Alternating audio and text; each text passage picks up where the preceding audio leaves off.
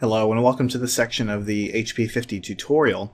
Uh, in this section we're going to wrap up our discussion of the symbolic solver menu here and once you get to the end you just hit the next button. There's one more function I'd like to talk about now and that's called zeros. This is how to find the zeros of a polynomial exactly. So if you type a polynomial in, the calculator will solve for the crossings of where that polynomial crosses the x-axis. That's basically setting y equal to 0 and finding the uh, solution to that and trying to present that to you. So the way you do it is very simple. You enter the equation uh, and then you tell what variable you're, you're, you're basically the independent variable uh, and then you go from there. So let's go into the matrix, I'm sorry, the equation writer and type our first guy in. Let's do 3x squared. Uh, then we'll go down here, minus 2x and then we have minus 1 equals, actually you don't even need to type equals 0 because this is a polynomial, right? This is what you would see as a polynomial.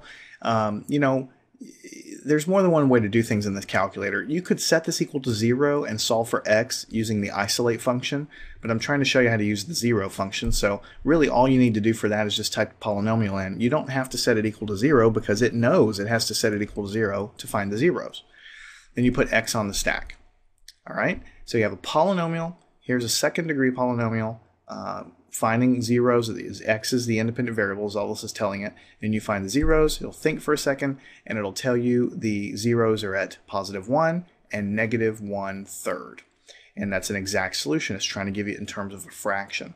So like I said, you can accomplish the same thing by typing that equation in making it equal zero and then isolating for x or solving over here for x. It'll give you the same answers.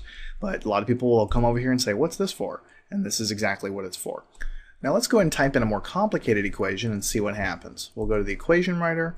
We'll type in 4 times x raised to the fourth power minus 3x third, 3 times x to the third power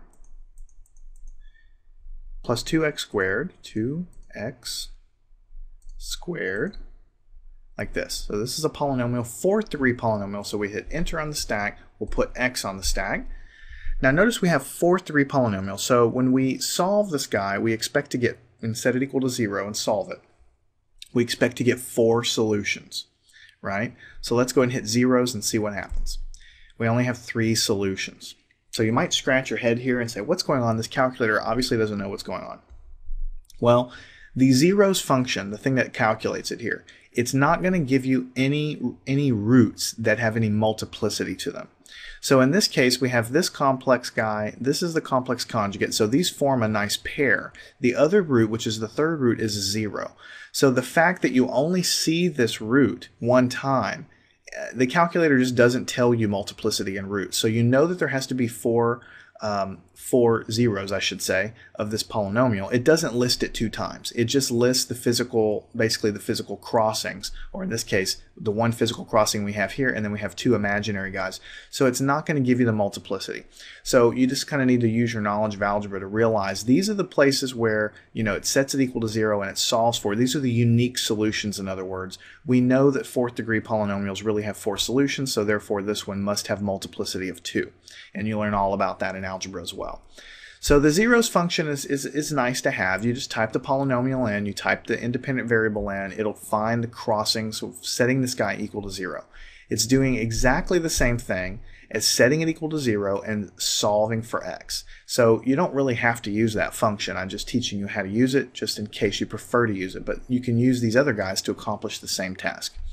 That about wraps up what I want to cover now in the symbolic solver menu. Um, solving equations is something you do all the time in math, so you'll know that you'll be using this a lot. The only other things we didn't talk about in this menu are the differential equation solver here and the linear differential equation solver here. We'll talk about those much later when we talk about differential equations. So for now, get comfortable with this menu, realize it's trying to give you exact solutions. Later on, we're going to talk about the numeric solver menu, which has a similar set of tools, but it doesn't try to give you exact answers. It gives you decimals, which are, you know, fine for most uses. It's just not, they're not technically exact because they they have a truncation, they have a decimal point. So we'll get to that in due time. So stay tuned for the numeric solver menu where we'll accomplish similar things with approximate solutions.